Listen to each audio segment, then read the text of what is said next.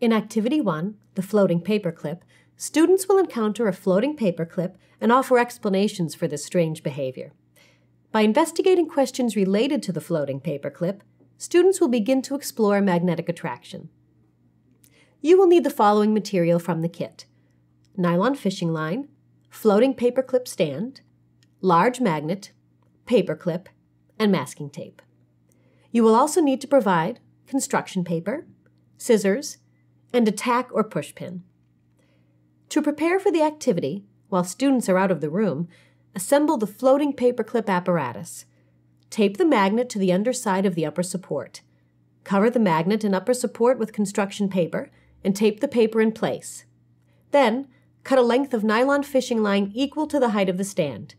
Tie one end of the line to the paperclip and secure the other end of the line to the base of the stand with the tack or push pin making sure to leave 2 centimeters of space between the paperclip and the magnet.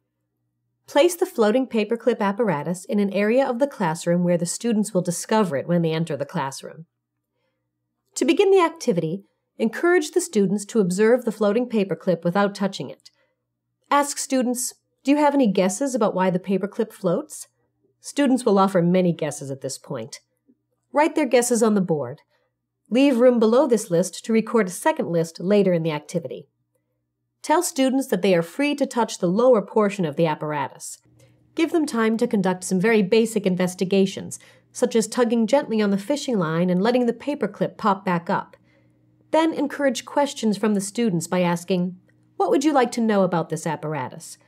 Explain to the students that they will answer these questions later, but that for now they should think of as many questions as possible. Offer suggestions, such as Can we make other objects float? How many paper clips will float? Can we blow the paper clip down? Will the paper clip float in any direction? Encourage students to further experiment with the apparatus in order to answer some of them. For example, they may attempt to blow the paper clip down, or they may tip the apparatus to see if the paper clip will float in other directions. Next, lead a discussion by asking, what would happen if I used scissors to cut the area above the paper clip? Or, what would happen if I passed a piece of paper between the clip and the upper support of the apparatus?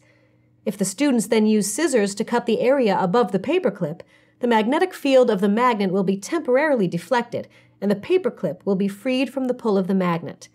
The result is that the paper clip will fall. The piece of paper, however, will not affect the pull of the magnet on the clip.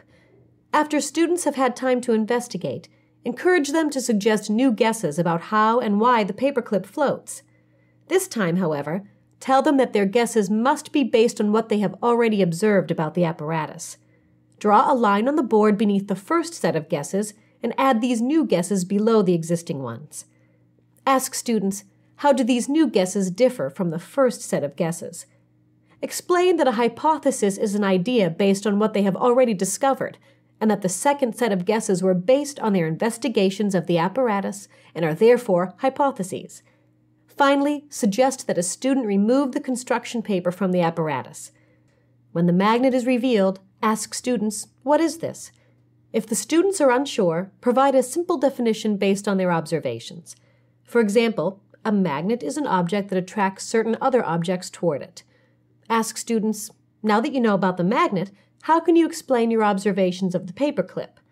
Explain to the students that the magnet attracts the paperclip, pulling it upward so that it appears to float. Then tell the class that they will continue to investigate magnets for the next several days. To conclude the activity, put the floating paperclip apparatus where students can study it during the days that follow. Store the magnet with the other large magnets in the kit. For science background, reinforcement activities, curriculum connections, and information about the Delta Science Reader, please consult your DSM Teacher's Guide.